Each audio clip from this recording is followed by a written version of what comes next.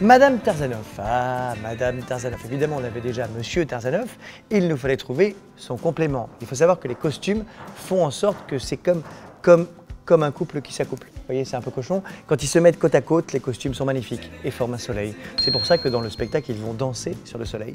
Il nous fallait donc quelqu'un de rayonnant quelqu'un de chaleureux, quelqu'un surtout qui n'a pas les foies quand il est sur un trapèze à 7 mètres de haut.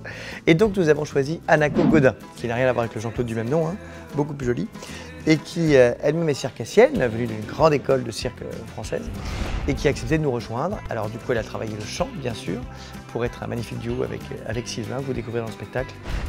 Madame Tarzanov est interprétée par Anako Godin.